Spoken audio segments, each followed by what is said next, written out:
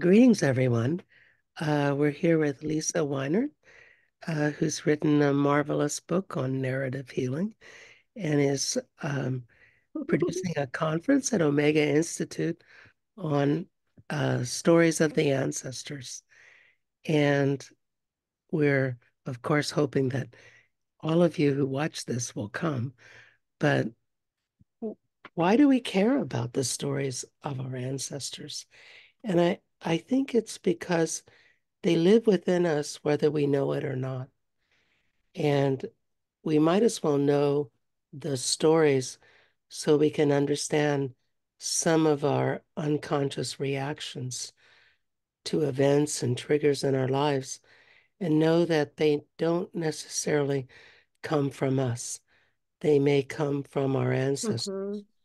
And, you know, I think there's two really important examples of this. One is North American, with the trauma that Indigenous North Americans experienced with residential schools and genocide and massacres and um, just terrible trauma that that reaches back generations. And uh, I work with a lot of those people in Maine, and it's just overwhelming the trauma that they've that's been passed on to them.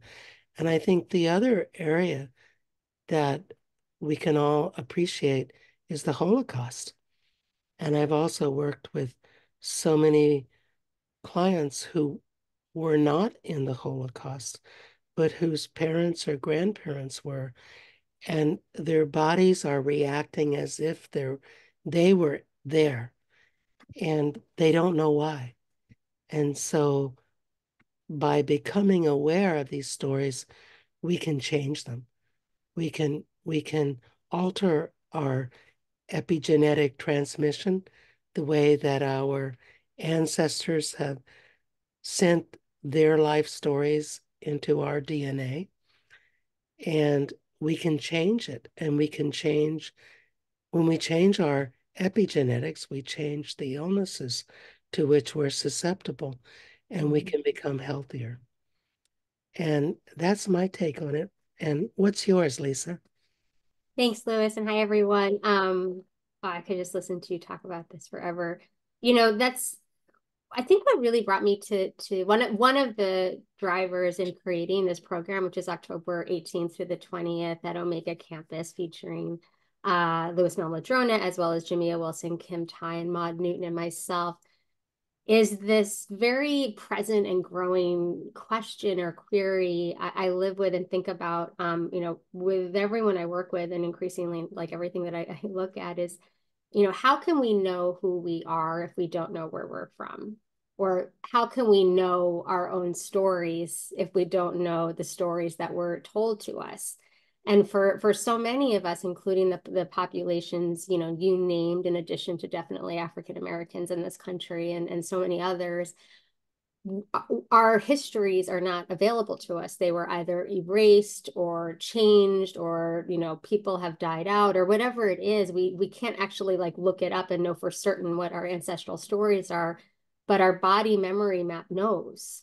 And our ancestral stories live within us and one of my my goals here by bringing you and other teachers is to offer an array of methods of connecting with these stories so that we can better know not only who who we are and where we're from, but better interpret those around us and connect with our, our commonalities. Um, so I thought it was a really kind of exciting and unifying way of looking at uh, sameness and difference through a lot of different uh, viewpoints. And so people coming will have the opportunity to try different flavors of, of trying these connections, both to know their own story and also access not just the, the memory of, of trauma, but also memory of great resilience and creative um, prowess that is also within you that you might you might not really know about or know that you know about, but other ways of sort of opening up that channel is my hope. So um, visit the Omega Institute website visit Lisa's website. Yeah. Coyote Institute's website, which will take you to Omega's website to sign up. And we hope to see you in Rhinebeck. Thank you guys for listening.